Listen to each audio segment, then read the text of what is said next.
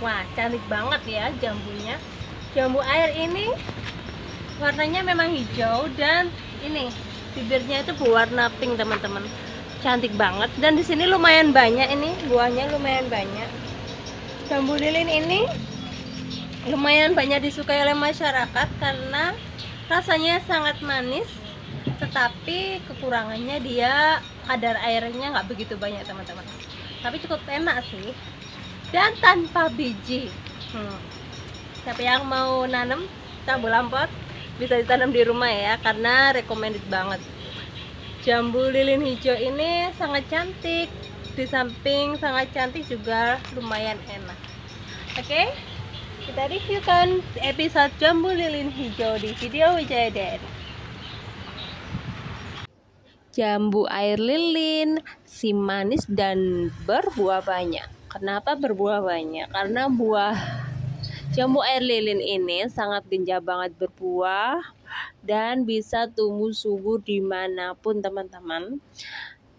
Dan jambu air ini berasal dari Cikampek loh, yaitu Kabupaten Karawang, Jawa Barat dari Indonesia ya.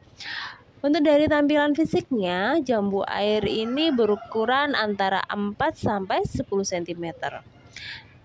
Kalau dimakan, hmm, sensasi rasanya itu langsung kerak ya. Jadi dia itu menyebarkan kerenyahan di dalam dagingnya. Wow, pasti bayangin, pasti enak banget kan?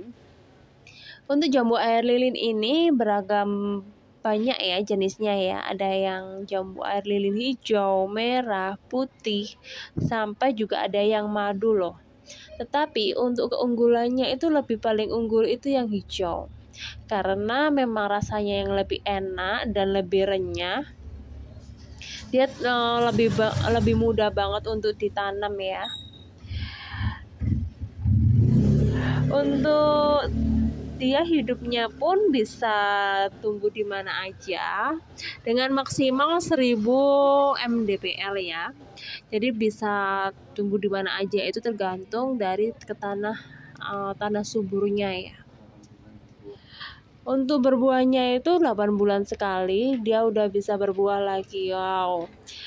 Senang banget dan ini adalah ditanam di tabu lampot yaitu di dalam pot jadi rekom banget ya untuk ditanam di pekarangan rumah di pot dan ini buahnya tuh banyak banget nyenengin ya buahnya banyak rasanya enak dan si manis ini memang banyak banget dikemari oleh masyarakat.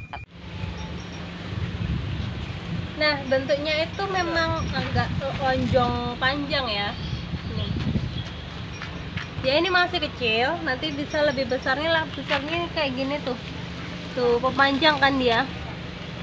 Tidak oval ataupun bulat dia kepanjang bisa seginian nanti kalau udah besar. Oke terima kasih yang udah nonton. Jangan lupa like subscribe dan